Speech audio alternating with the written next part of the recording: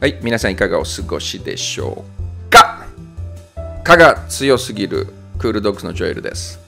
えっ、と、今日は、あのーこれ、もう見たらわかりますよね。犬たちのフードですよ。ご飯、食べ物。同じことを何度も言ってますが。えっ、とね、これどうですか？ご覧になってください。毎日これ、こういうの作ってあげてるみたいですよ。僕と一緒にやっているそのヨーロッパのハンドラーです。本当に毎日やってんのかなっていう疑問はやっぱちょっとね出てきますがまあ彼女曰く毎日こういうご飯をあげているそうです犬のフードって永遠のテーマじゃないですかまあ僕が言わなくても皆さんの方がよくご存知だと思いますがあのーなんていうかな、まあ、ドッグフード、ドライフードですよね、通常はね、普通はね、皆さんそうだと思いますが、もちろんドライフードとなんか肉を与えたり、まあ、いろんなものを与えていらっしゃるんだと思いますが、あのね、フードに、まあ、もうこんなことを僕がもう言うのもね、もうその今更言わないでって多分言われると思うんですが、あのまあ、あえて言いますけど、フードによって犬の、まあ、から体ってね、変わってくるんじゃないですか。そのうん、骨の成長の仕方とか筋肉とかあるいは、うん、皮膚とかねあるいは、まあ、そのコートの状態とかね、まあ、当然ですよね。僕なんかが言わなくても皆さんの方がよくご存知だと思いますがだから永遠のテーマなわけですよフードって。その今のフードよりももっといいフードにしたい。もっといい食べ物にしたい。もっとこの犬に合ったフードを与えたいって皆さん研究されてると思うんですよ。だって風土によって犬の状態が変わるわけですからだからあのでそれぞれのね犬によっても違うかもしれないんですよ。正確に言うと。だからこの犬はもうちょっとこれを多くしたりとかこっちを少なくしたりとかなんかしなきゃいけないとかねいうのだってあるかもしれないですしですからあのなんですかね。そのほら自分が一番メインとして例えばドッグショーでこの犬をこの犬でドッグショーで活躍したいんだと思ってる犬がいるとかね。いう場合とかあるいはまあうちの犬舎の看板犬ですこの犬はとかいう犬だっているかもしれないじゃないですか。その時にその犬をね他の人が見た時にうわーってわいい犬だなっていうふうにもちろんしたいわけですよ当然ですけどもでその時にね風土によって体つきとかもとにかくコートの状態とかさまざまなものが変化するわけですからその犬に合ったものをあげたいわけですよだからフードってとにかく永遠のテーマなわけですよと僕は考えているわけですよ。まあ皆さんどうか分かりませんが僕はそう考えています。フードもう犬の食べるフードってもう永遠のテーマだなって僕は思ってるわけですよ。ですからもっと良くしたい、もっといいフードがあるかもしれない、もっといいフードがあるかもしれないってもう常に考えているわけですよ。犬を飼ってる時は。ですからまあそのまあ参考のまあなんていうかな。一つにうん、ささやかな参考の一つにでもまあなればいいかなと思って、まあ、ご紹介することにしました。今日。大体僕は何が入ってるか知ってるんですけどその内容をねそのなんかもうレシピまで言うと、まあ、レシピって何が何グラムとか何を一つかみとかそんなことまでは知らないんですけど何が入ってるか知ってます。だからその内容まで詳しくねレシピを言ってしまうと多分怒られるから言わないんですけどうん、まあ言わないというか言えないんですけど、まあ言いたいんですけど、本当は皆さんにお伝えしたいんですが、でもちょっとそれは言うと怒られるから言えないんですが、あのこんな感じのフードを作ってあげてますよ。毎日作ってあげてるって言ってました。毎日が本当かどうか かは分かりません。大変ですからね、たくさん犬もいるし、ハンドラーですからね、たくさん犬を預かってますしね。こういうバージョンもあります。まあだからまあもちろん、ま、全く同じメニューばっかりではなくて様々なメニューがありますよね。それとまあ大型犬から小型犬まで預かってるから、まあその犬に応じてまあ量が多かったり少なかったりとか、あるいはこの犬はちょっとこれを多くしようとかね、これを少なくしようとかね、まあ考えてやってますよね。ですから内容がちょっと違いますよね、すべてそれぞれが。こういう日もあります。まあ縦の写真を横にして今ご紹介しているので、なんかちょっと見にくいかもしれませんが、そしてなぜか猫がいるみたいなね。ななんで猫がいるのみたいなね。猫がつまみ食いしてますせみたいなね。こういう日もあります。なんかもうひき肉のもう肉、肉団子っていうか、なんかもう肉ぎゅうぎゅう詰めみたいなね。もう180%ぐらい僕の食事より高いですね、多分ね。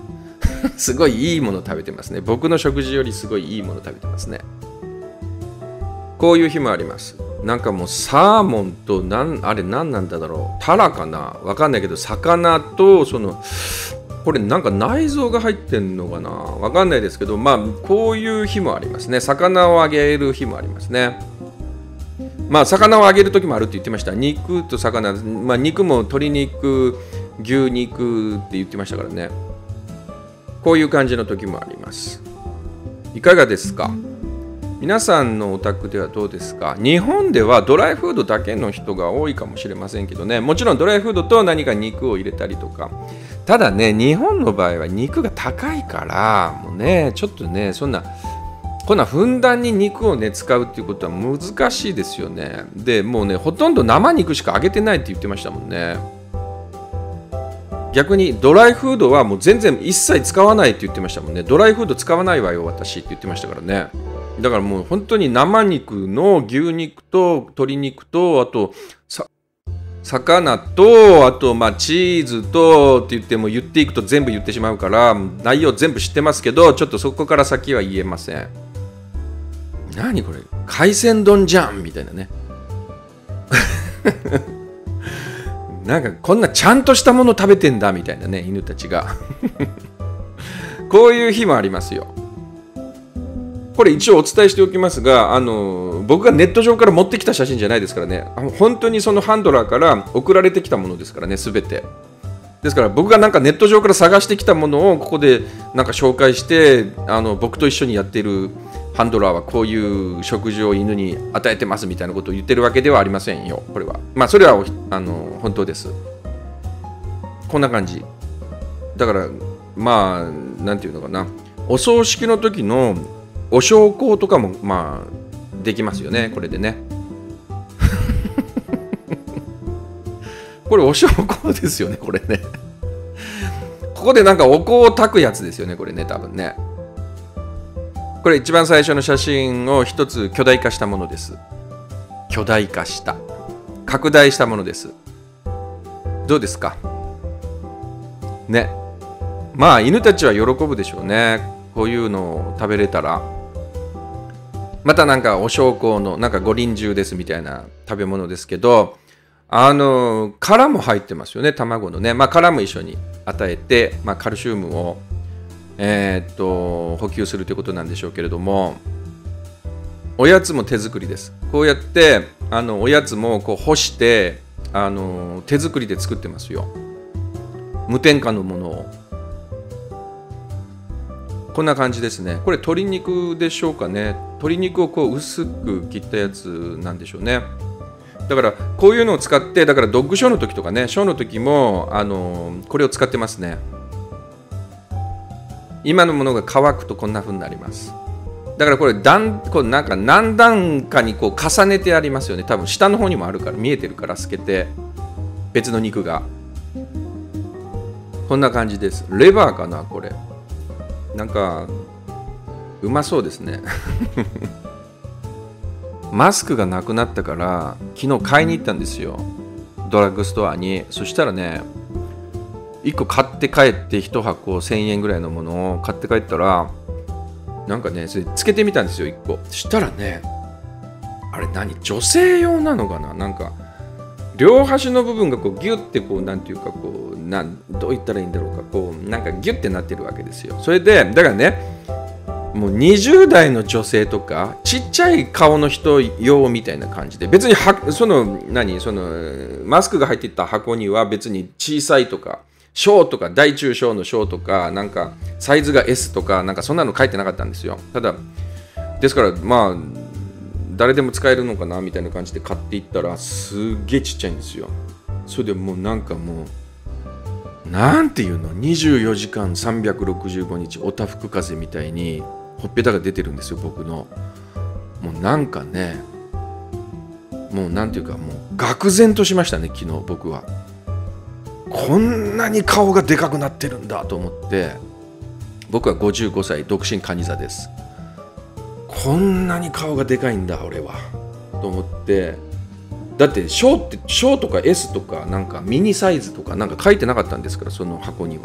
ということは誰でも使えますせーっていうことなわけですからそこでもうなんかおたふく風みたいにほっぺたが出てるわけですよ。もう死のうって思いましたね昨日ね。何なんだよ。もう俺もう二頭身じゃんと思って。だから45歳ぐらい過ぎるとまあ男は二頭身になるから二頭身用のマスクをちょっと作ってもらいたいんですけどね。本当に鼻ぐらいしか隠れてないです。もん本当にもうなんかもうほとんど顔のほとんど出てるみたいな。それでね今度はねあのね大中小って書いてあるマスクだってもう全然使えないですからもう恥ずかしくて。だってもうほとんど隠れてないんですよ。もうなんかすっごいはみ出してんじゃんみたいななんかね。すごいエッチな下着みたいなねなんかすごいはみ出してる体がみたいな。そういう状態なわけですからまた買いに行ったんですよ僕は。そしたらねでだから今度はね大中小って書いてあるものの台を買ってきたわけですよ。そしたらねそれでもまだなんかはみ出してるんですよほっぺたが。もうなんていうかね。愕然としましたね。だって2箱買ってきてるんですよマスクを。その買ってきた理由が顔がはみ出してるからっていう理由でもう1個買ってきてまたその台を買ってきたのにまたはみ出してるんですから。もう顔がでかすぎるっていうか僕の僕に合ったマスクってもう地球上には存在しないんだと思ってじゃあもうしょうがないな。って思いながら悲しい気持ちになってもうそれを使うことにしたんですけどなんかはみ出してるから顔がほとんどなんかもう二頭身なんだ俺なんかもうスッパマンみたいな感じなんだって思いましたね。まあ、スッパマンわからない人はネットでしらネットで調べてください。あられちゃんに、ね、あられちゃんっていう漫画に、スッパマンっていう なんでこんなこと説明しなきゃいけないんだろうか。もう本当にスッパマンみたいなんですよ、顔の大きさが。これはもう、どこに行ってもマスクはないし、もう一生独身のままなんだ。二頭身だからと思いましたね。それでは皆さん、えーとね、このハンドラーのあの自宅っていうか、あの犬舎っていうか、そこの動画ちょっと見ますか。でもちょっと見えるかな？ぼやけるかもしれないですね。これなんか携帯用の動画だから、それと TikTok に出してたやつだから、ちょっと本当ちょっとね、小さいんですよね、画像が。だからぼやけるかもしれないんですけど、けど、ちょっとご覧になりますか？えっ、と、オーシーのブリーダーもやってます、この人は。ほら、見てください。湖があるんですよ、自分家の敷地の中に。すごいでしょ、泳いでますよ、犬たちが。飛び込んで泳いでる。自分家で、自分家ですよ、これ、自分家。そしてほら、この道路も自分家ですよ、これ。自分家の敷地の中ですよ、これ、この道路。だからこれ道路っていうか、まあ、市道ですよね。市道っていうのはもうなんか道路っぽくしているだけで自分家の土地ですよこれすごくないですか？飛び跳ねてるけど。この人がその人ですよ。この人ハンドラーですよ。もうちょっと痩せろって言いたいんですけどさすがに女性にそんなこと言ったらもう殺されますよね。それでは皆さん失礼します。